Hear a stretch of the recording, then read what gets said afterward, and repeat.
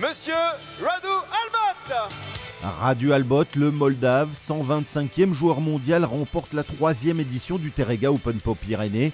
Il lui aura fallu 1h28 pour venir à bout du tchèque Jiří Leška, 6-2, 7-6.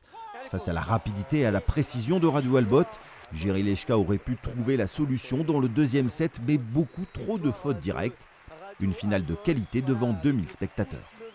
Ça peut paraître simple, mais jamais n'est jamais simple.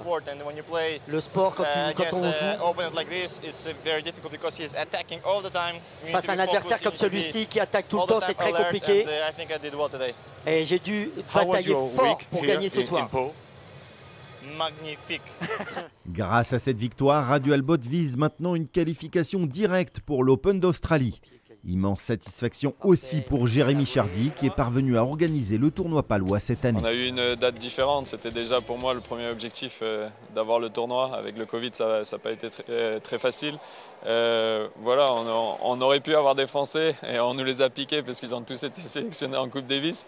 Euh, donc ça a été un, un, peu, le, je dirais, le seul point négatif du tournoi, mais c'est sûr pour les années futures et, et celles de l'année prochaine, d'attirer les Français, ça sera mon premier objectif. Le rendez-vous est donc pris pour l'année prochaine avec une date qui reste à définir.